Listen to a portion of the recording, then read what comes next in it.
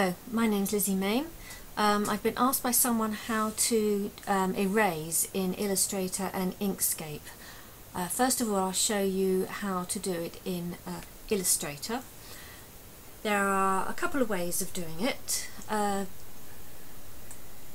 you can erase by selecting the star and the square and going to the Pathfinder tool. Now, the Pathfinder tool isn't visible, we just go to Window navigate to Pathfinder.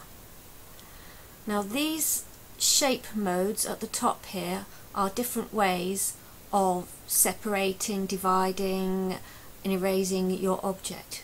The first one is to unify the two shapes. If I click on that, two shapes become one. I'll just Control Z that to go back to the beginning.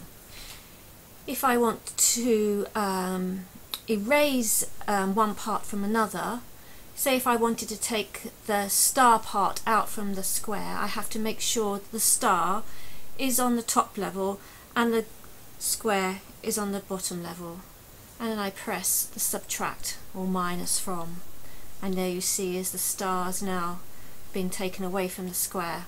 Control Z that again. If I want it the other way round, I can then send the star to the back either by right um, right clicking arrange send to the back.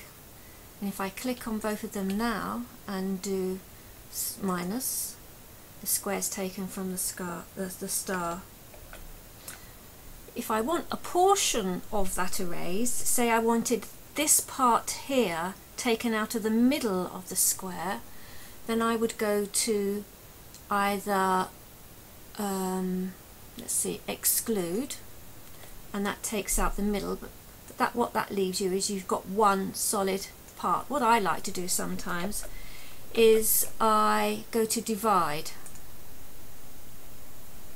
And then that what that will do is will group your layers together. Then you can just um, select which one you want to delete.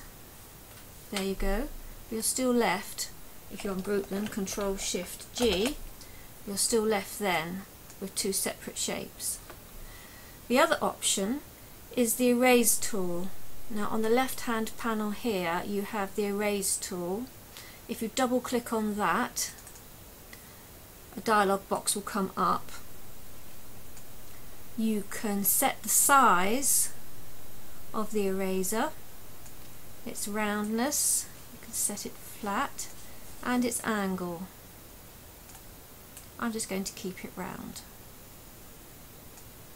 On the size, that's about it, okay. And then the part you want to erase, say if you want to just make a um, erase right through the middle of these shapes, you just hold your key down on your mouse and just shift through. Perhaps I need to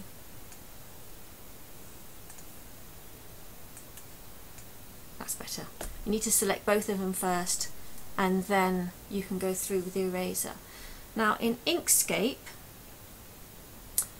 again, if you select the first two items and you go to Path at the top, you have uh, the same the same as Pathfinder in Illustrator, but they're called slightly different here. You have Union, where it will unite both shapes again, it's annoying. I, there's some things in Inkscape I like and some things I don't, and it doesn't tend to keep the selection once you've done something.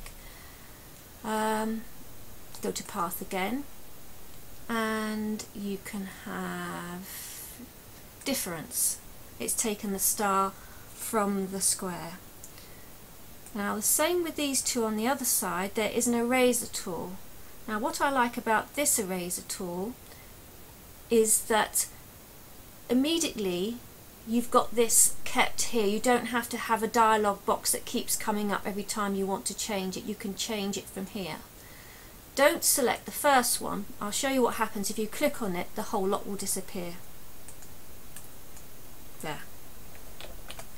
You want the second choice along. If you put your mouse over it, it might tell you what it says. Cut out from objects.